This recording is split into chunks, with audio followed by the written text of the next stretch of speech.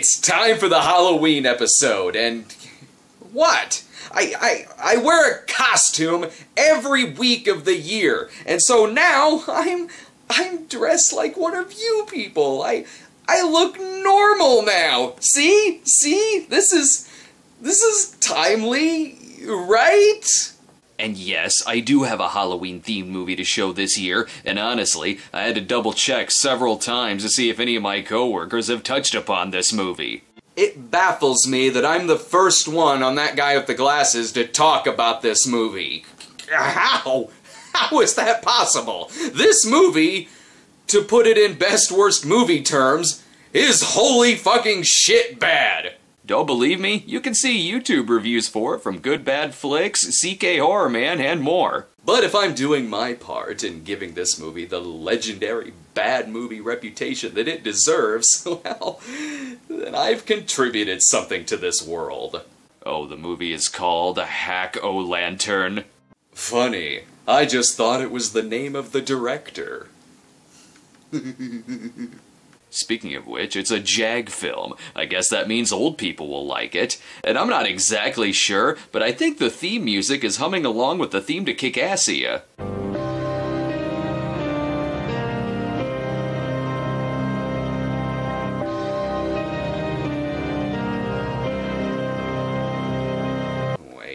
Should I know that? Does that exist as a movie in my continuity? Hack-O-Lantern, for those of you who don't know, is a satanic cult film from 1988, and you can tell because it's actually starring a coven of Larrys. From the pyramids of Egypt to the trees of Iowa, there's no telling where a pickup truck carrying pumpkins will show up.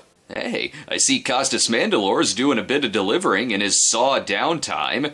You better hurry up, little Tommy, or you'll be late for the Silver Spoons audition. Happy Halloween, Tommy. Nothing can keep me from seeing you on this, the grandest day of the year. Grandpa, why are you saying it like that? And Grandpa's got something very special for you. It's my dick. Something for me? Because I'm special? Yes, Tommy. Because you are very, very special. Mm. Yeah. Okay, okay, Grandpa, I get it. That's a fantastic Victor Salva costume. He gives him a pumpkin for the time honored tradition of throwing pumpkin guts at your little sister. By the way, why is Grandpa only like five years older than the mother? Trick or treat, give me all your candy or I'll blow your head off. Roger, would you learn how to talk nicely to your sister?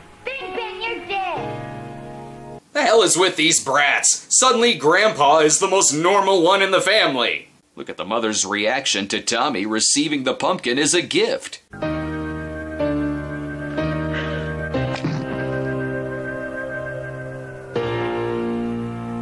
Now, was that really fucking necessary? Just talk it over with your husband. It's Halloween. Damn it, woman. Your father needs more than just a warning. There's something about Tommy. He's got some kind of hold over him, and I don't like it. This movie's sort of like Troll 2, only more. this movie's just like Troll 2. Tommy's dad looks for Grandpa but stumbles upon the secret meeting of the Red Riding Hoods. This makes Dad so mad he begins to poke Grandpa right in Steven Seagal's beads. Oh man, he just whacked the tag off the back of his jacket. And it ain't a cheesy Halloween movie unless someone is slowly turning into Tim Curry. Nice. Apparently, they were only 10 feet away from Tommy's window. Eh, I'm sure it's nothing. Dad'll handle it.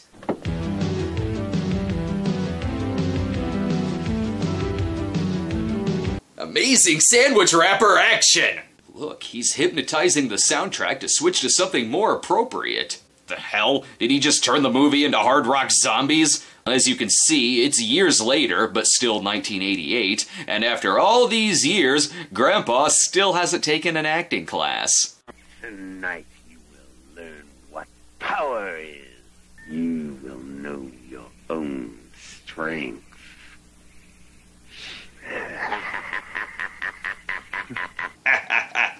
What Well, you gotta hand it to Grandpa. He is still hanging out with the boy, even though the kid is of age now. And I'm not sure, but I think Tommy is trying to give us the signal that he wants out of this movie.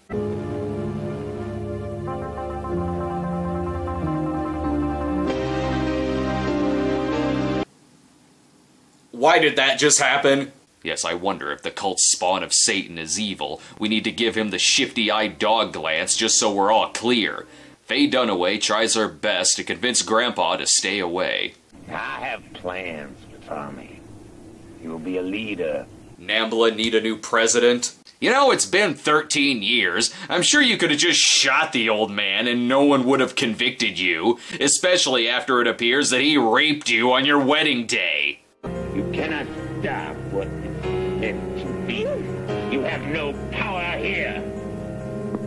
Wow, this movie isn't just good, it's final sacrifice good.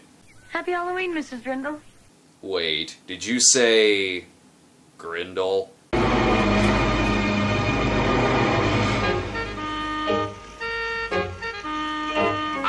Anyway, the younger sister is. Uh, holy shit! Her vagina's trying to escape.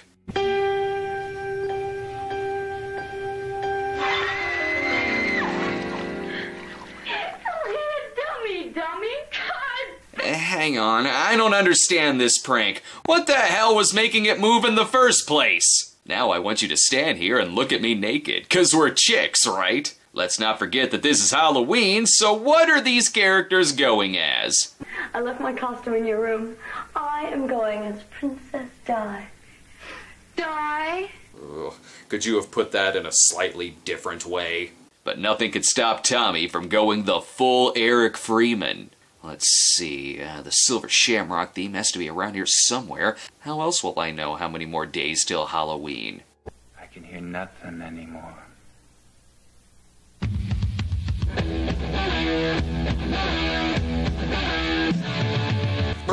What is this now?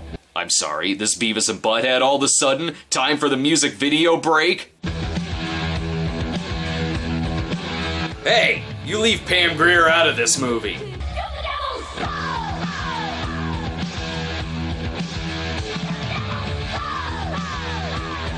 The devil's son.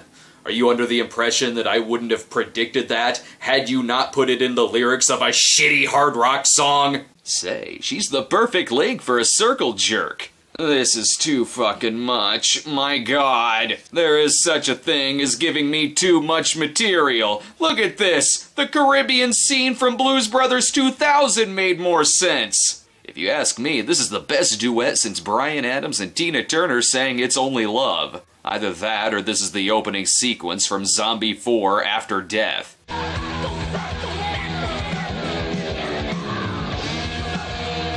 Well, at least she didn't eat a bat. that could cause rabies. I see why that scene was necessary. It was to summon the Great Pumpkin. Oh, good, it's Machine Gun Brother from earlier in the film. He's gonna Jan Michael Vincent the hell out of this role. More so than Brigitte Nielsen here, who's doing the job she did before and after she got famous. Hey, baby, care to be extras in Return of the Living Dead with me? Grandpa, what are you doing here? I come by the store to pick up some candles for your ceremony. This is a huge disappointment. I expect better quality acting out of the guy who played the mayor in Dolomite. Maybe change your mind, Tommy. I'll be in the pool all afternoon. You don't say. You're gonna shrivel up like a prune. Oh, good. I was wondering what these two were up to. Brian and I could play trick or treat. Your trick, his treat. Lucky Brian. Brian who? The fuck? You're not in this scene! Get the hell out of here! Vera seems to have a nice little friend there. I wish Vera and Tommy and you would stay together. We all need each other. Okay, that was about three inflections there, lady. Pick one and fucking stick to it. And is that a dead end drive in poster on his wall? If he wanted a Brian Trenchard Smith poster, I figured he would have gone with one of the Jason Blade movies. Why don't you do something meaningful with your life? Do not bother him when he is going full Eddie and the Cruisers. Naturally, the younger brother is worried, so Tommy just explains everything to him. Nice, Tommy. Now I know why Mom's so worried about you spending time with Grandpa. That's a fucking understatement! The movie does get a little sad when the mother visits her husband's grave and flashes back to the time when he fucked her to death. Plus, I'm starting to get the feeling that they keep forgetting there's a camera present. I think you should pay him your respects today. Okay, Mom. Mrs. Drindle, we'll walk through the cemetery on our way to the party hall, okay? Way to buzzkill Halloween with talks of death, Mom. Meanwhile, right before Roxette is about to go on tour, tragedy strikes. Well, not really. She does get a little naked first. I'm Lady Godiva. Want to play my horsey? Eh? I don't know what that means. Does that mean I get to fuck you? Because if so, then the answer is. Hmm, maybe. Oh, I guess it means stick a fucking fork in your neck. She should have been a lot more specific when talking to Ernest Borgnine from The Devil's Rain. Don't mind him. He's gonna go be awkward somewhere else now. Come on, Grandpa. You came here looking for Tommy. Nah, I just come by 'cause I want to give a little something to my favorite little gal. he doesn't care who he fucks. I must say, you are certainly growing into a very tempting young lady. Yeah, I kind of like her too. You got some kind of problem, mister? God, I'm rooting for Satan because even he wouldn't like this movie. Yeah, um, Grandpa, this is Brian, my boyfriend. Oh, sorry, I didn't know. Nice to meet you, sir. Not sure that's the right attitude. now that I know you're related, well, that makes this less creepy. Roger Drendel, my grandson in uniform. Oh, will you stop with the fucking exposition dialogue? I know he's your grandson and I know he's a cop. Well, eh, okay, maybe just some more exposition dialogue. Oh, well, uh, I can tell you've been thinking about that, Roger. All right. Pretty damn ingenious. After all, you're my brother. Roger the cop shows up, mainly just to hit on his sister's friend. And it goes rather well, because in the cutaway, they leave holding hands. Uh, since I'm done here, you want to take me into custody? And they're gonna fuck. Uh oh, Bruce Springsteen looks pissed about something. Looks like his sister Pamela was caught with one of the counselors. And I think the music seems much more loud and pissed off than the actors.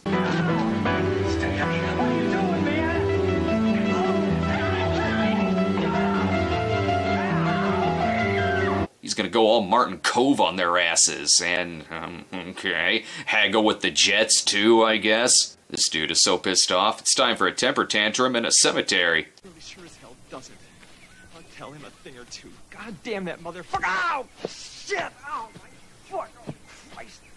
I haven't seen whining like that since Big Joey Fakuli took away my ball in the third grade. Damn that Tommy! That son of a bitch! The hell? Is he gonna rape him? I sure hope he doesn't fall into a. Oh, how the hell did he fall into that giant ass grave in broad daylight? Hey, you put that skull back or you'll cause Confederate zombies to rise.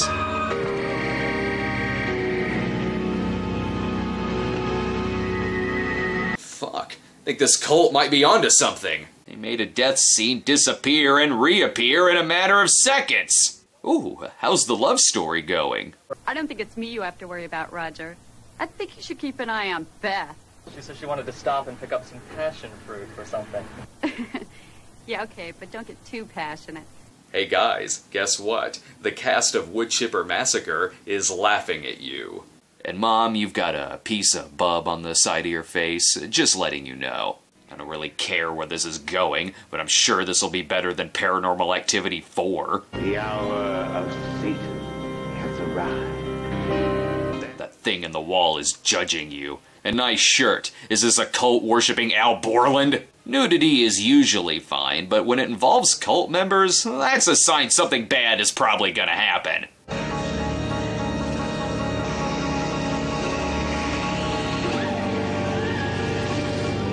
Not all girls let you poke her in the ass. Too bad the local police have better things to do, like scaring kids.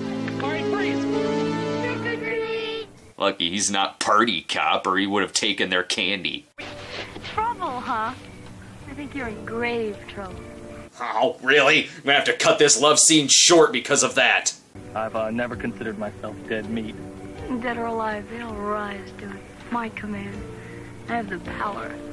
What? You've got more puns? That one wasn't enough to kill the mood? Say, baby, you got me all stiff. You're making me cremate in my pants.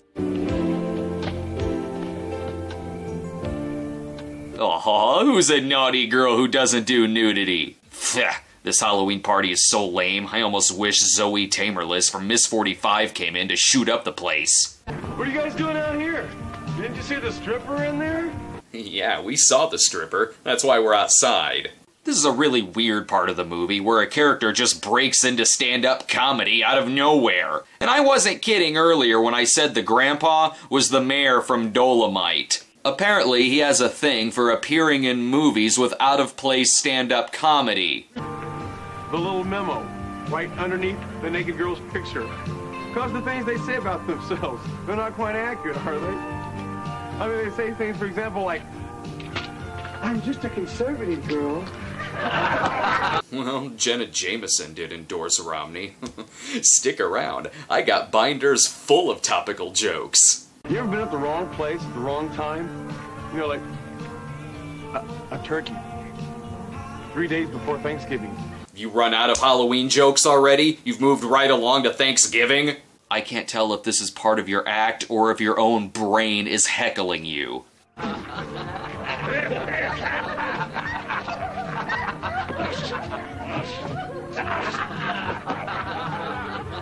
Oh, thank God, he's dead. Can't say I expected that scene, but it's not like nothing else in this movie comes out of nowhere.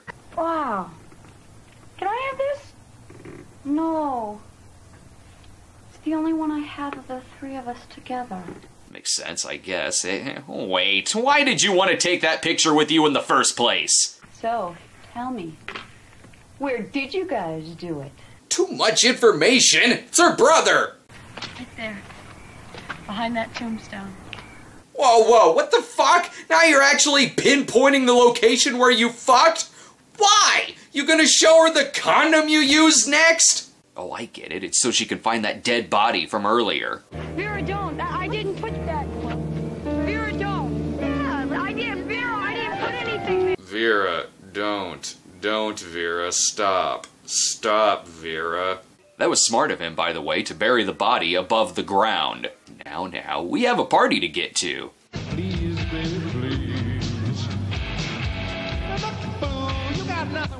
Mm, on second thought, let's skip the party. Jesus, this is the weirdest version of Russian roulette I've ever seen. And oh yeah, she's so adamant about getting revenge on Tommy that she gets captured five minutes later. And wasn't she supposed to be going as Princess Diana? Could have fooled me, she's a dead ringer for Sean Young. And if only anyone had any evidence of Tommy's satanic affiliations, all of this could have been stopped. Unless it's just by Tommy himself.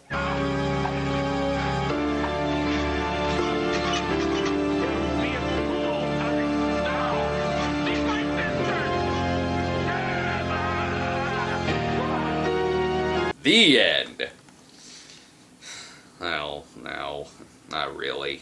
In the kingdom of hell, we are your family, the disciples of Satan.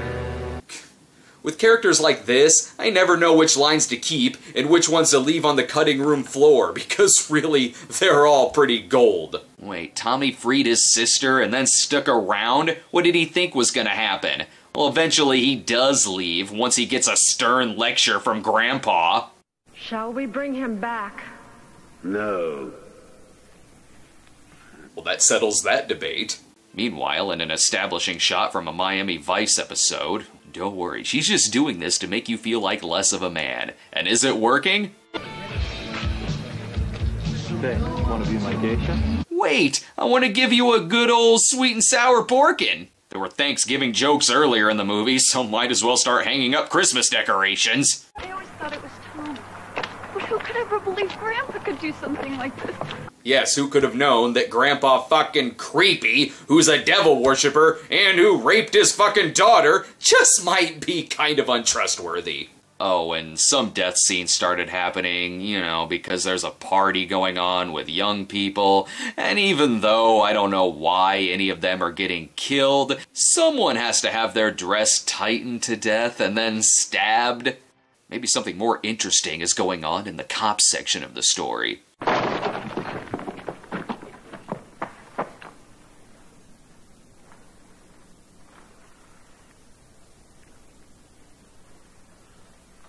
I don't see anybody here. Right on, boys. Thanks for checking in.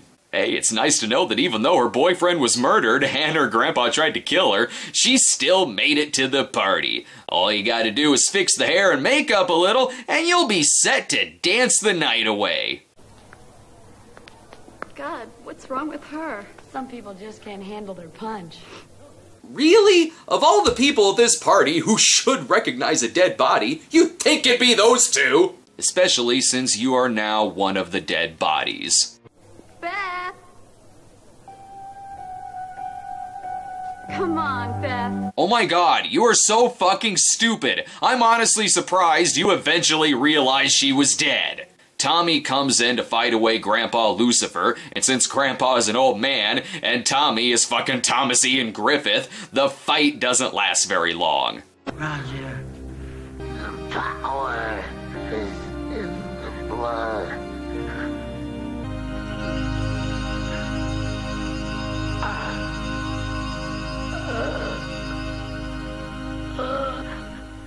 And somehow that's gonna lead to a plot hole in outer space. See? It starts with the fact that the one doing the killing was the mother. Oh, now, now. I'm sure it'll explain everything to us.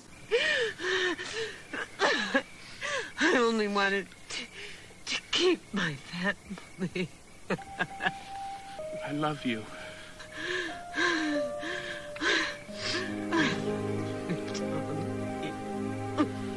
Whoa, whoa, ma'am.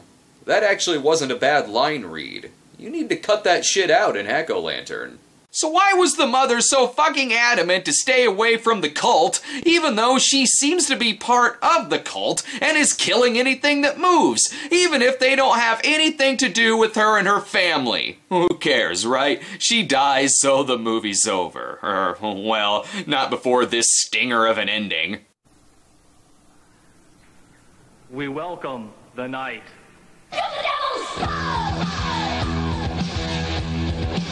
Oh my god, sequel! That never got made. This movie is the passions of Halloween movies. A movie so over the top in its execution and delivery, even Claudio Fragasso would have told them to tone it down. And why is it called a hack-o'-lantern? A jack-o'-lantern played into one scene where one is crushed, and another where one is lit. That's it. Uh-oh, the original title was Halloween Night. Hey, hmm, okay, okay. Hack a Lantern was the better title. The movie was brought to us by director Jag Mundhra, an Indian director who sadly passed away in 2011.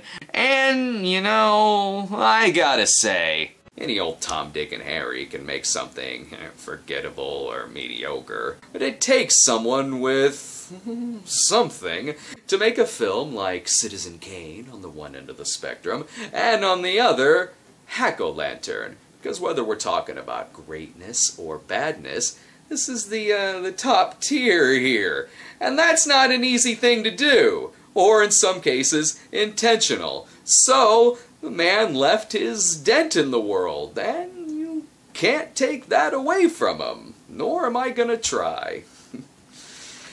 oh, and uh, happy Halloween. So what does Nora Bennington have that I don't have? For one thing, a tattoo on her butt.